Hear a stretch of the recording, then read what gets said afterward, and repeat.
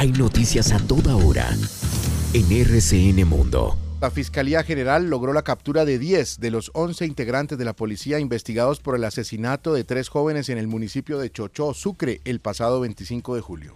Por este caso fue emitida circular azul de Interpol contra el coronel Benjamín Núñez, quien presuntamente se encuentra fuera del país. El fiscal general Francisco Barbosa también anunció que fueron suspendidas todas las órdenes de captura y extradición que están vigentes contra 11 cabecillas del ELN, integrantes de la delegación negociadora de paz. Esta medida ayudaría a 11 de estos jefes del ELN el gobierno nacional anunció su retiro del consenso de Ginebra, un acuerdo simbólico de varias naciones que se oponía a la legalización del aborto. El ministro de Hacienda, José Antonio Campos, se reunió con congresistas del Centro Democrático en busca de acuerdos en el texto de la reforma tributaria. Durante la posesión de la nueva directora de la Unidad de Víctimas, Patricia Tobón, el presidente Gustavo Petro aseguró que reparar a las víctimas en Colombia podría durar un siglo. Petro agregó que en Colombia no ha habido voluntad política para reparar a las víctimas. El ex fiscal general de la Nación, Néstor Humberto Martínez, aseguró que la Corte Suprema certificó todas las pruebas contra alias Jesús Santrich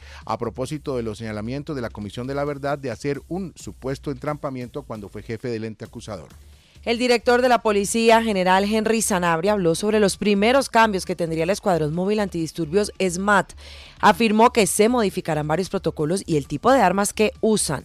El presidente Gustavo Petro respondió al número dos del chavismo, Diosdado Cabello, quien solicitó a Colombia extraditar a opositores venezolanos. El mandatario aseguró que Colombia garantiza el derecho al asilo y al refugio. Un juez ordenó la libertad condicional del ex senador Bernardo El ñoño Elías, condenado por escándalo de Odebrecht, al considerar que ya pagó la mayor parte de su condena de seis años y ocho meses de prisión por delitos de cohecho y tráfico de influencias. La fiscalía solicitó audiencia de imputación de cargos contra la jefa de enfermería y un auxiliar de enfermería del Hospital La Misericordia de Bogotá por la muerte de la niña de nueve meses, Sara y Sofía Godoy, tras el mal suministro de un medicamento. Fue tema de varios días en RCN Mundo. RCN Radio habló en exclusiva con un paciente afectado por la viruela del mono en Colombia. En minutos, su testimonio la entrevista que hizo Janelda Jaimes hace pocos minutos y avanzamos.